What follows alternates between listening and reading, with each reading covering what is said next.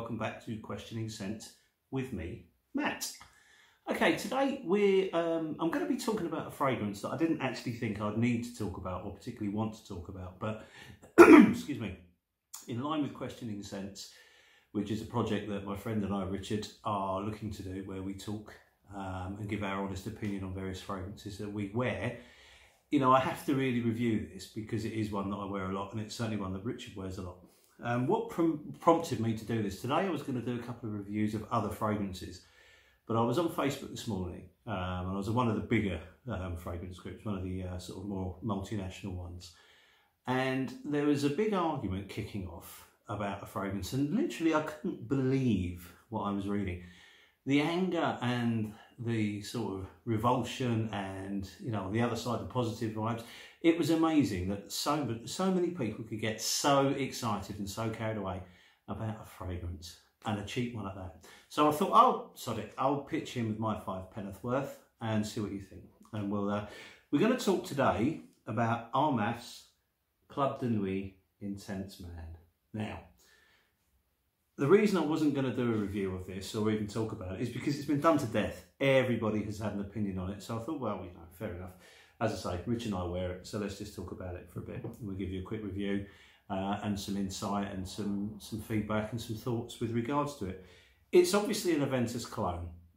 Now, there are more Aventus clones out there than you can shake a stick at, and we've done two videos so far, one on niche alternatives and one on cheap alternatives. And the reason we didn't include Club de Nuit or Armaf's Club de Nuit Intense Man in that is because, as I've said a couple of times so far, it has been covered to death. But it, you know, the, this argument and this debate still rages on, and I cannot for the life of me understand why. Um, so I've had it a while. Richard's had it a little bit longer, uh, and we both we both really like it. And I'll tell you why.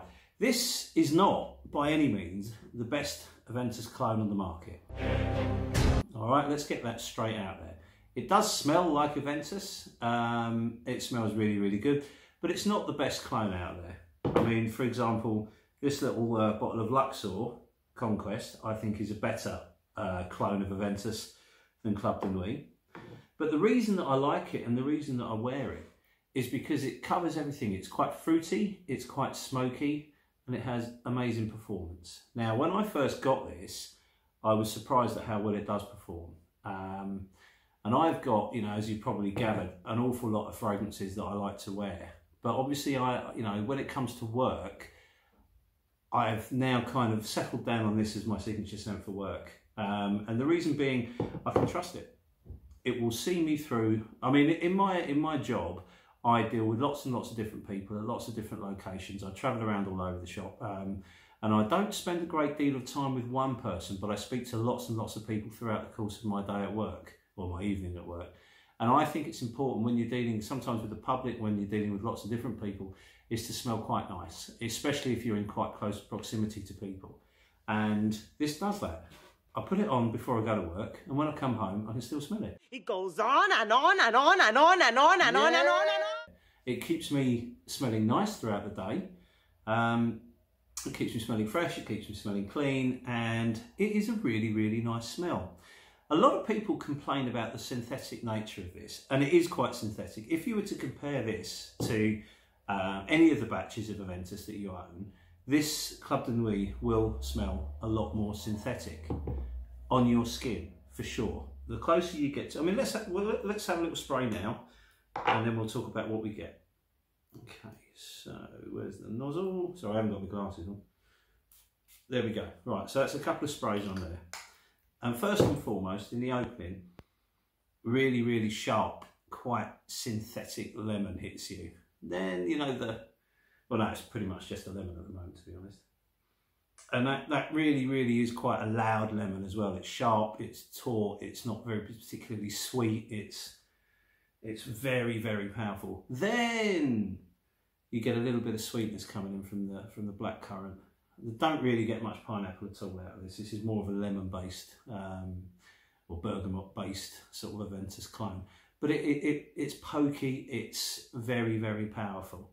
Now, I think that this, the clues in the question is Club de Nuit Intense Man, Club. Now, I'm kind of reading maybe too much into this, but This wasn't designed for people to be sitting next to people. I think the club is the clue there.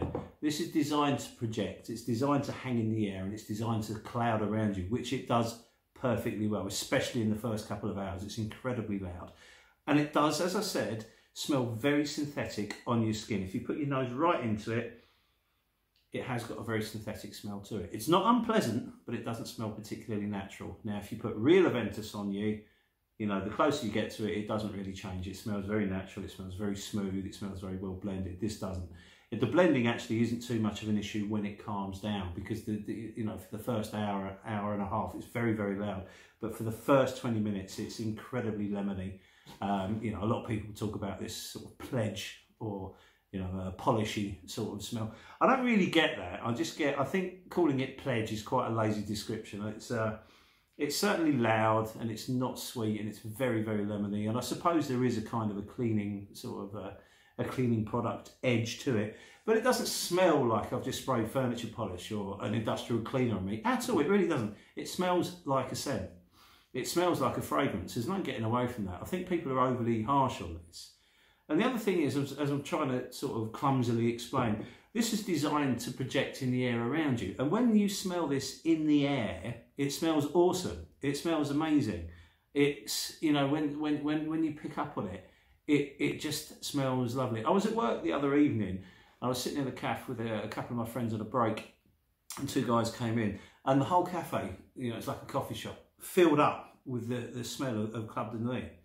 So as the, these guys got their coffees and sat down and were chatting away, I went over to them and said, right, who's, who's wearing the Armaf? And they laughed and they were both wearing it. But the smell of it absolutely filled up the, the, the cafe in a really nice way as well. It, was, it wasn't like a big fog that came in. It was a really pleasant vibe that came across the room.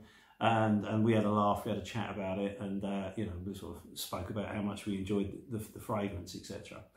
So I don't really get the hate. I understand that Aventus purists will, you know, they tend to slag off everything that isn't, you know, Aventus.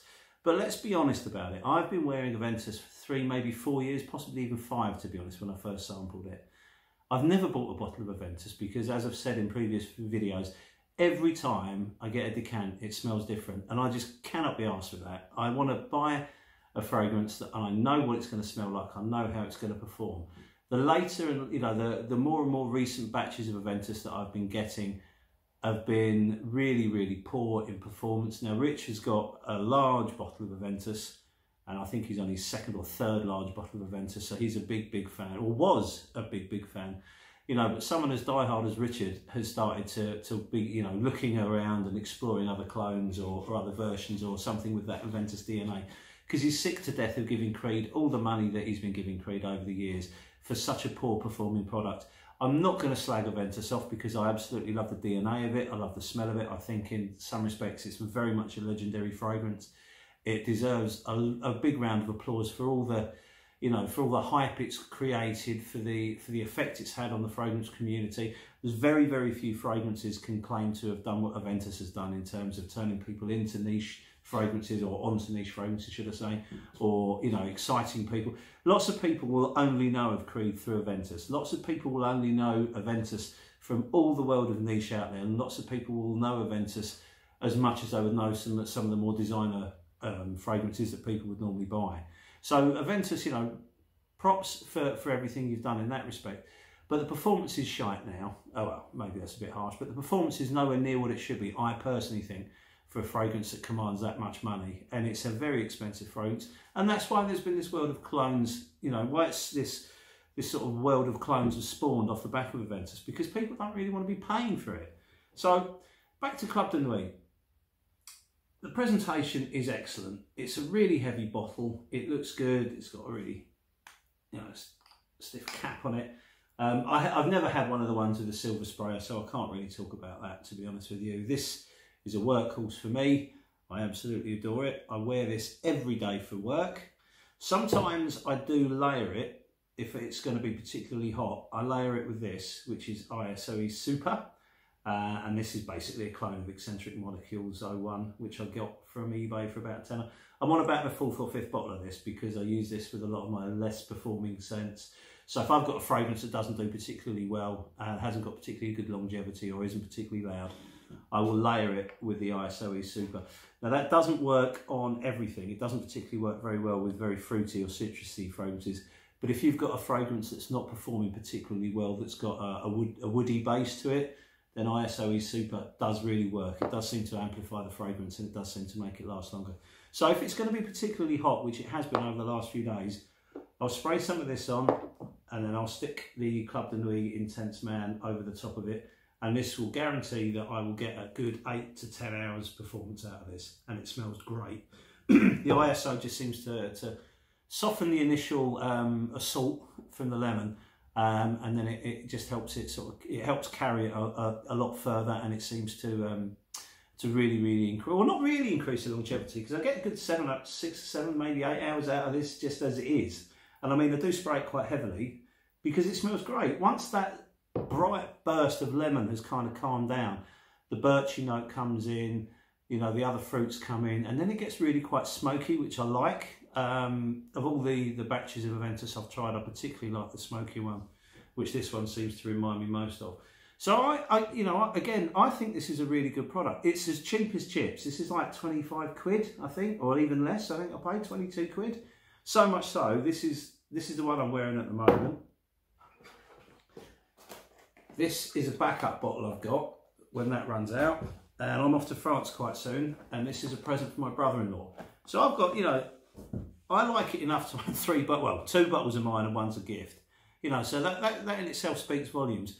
For work, I've got, you know, as I've probably mentioned before, I've got a lot of fragrances and some I really, really love and some are very, very special occasion fragrances. I have a bottle of um, Nasomatto's Pardon, which is probably my favourite fragrance of all time. It's a very, very special fragrance to me and I only wear it on special occasions. It's a tiny 30ml bottle and I don't want to burn through it. I love it so much if it was down to you know if money was no object and I had you know an unlimited access to it, I'd wear Pardon all the time, but I can't. You know, it's a, a tiny 30 ml bowl, so I keep it aside. I keep a lot of my fragrances that I love and treasure. I keep them for special occasions.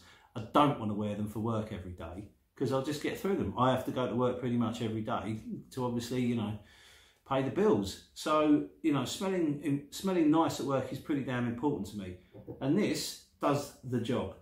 It's an absolute magnet for compliments. I wore this to the pub the other Friday night and you know three or four people complimented me on it. I get compliments at work galore wearing this um, and that's because it smells so good in the air. As I've mentioned earlier, it doesn't smell so crash hot really close to the skin. It does smell a little synthetic. Not unpleasant, synthetic. There's a big difference. It smells nice, but the further, you know, the further you are away from it, the better it smells. It smells amazing. So, you know, when people sort of say, eh, oh, you know, it smells a bit like polish, it doesn't smell like polish. When people say, oh, no, it's not as good as Aventus.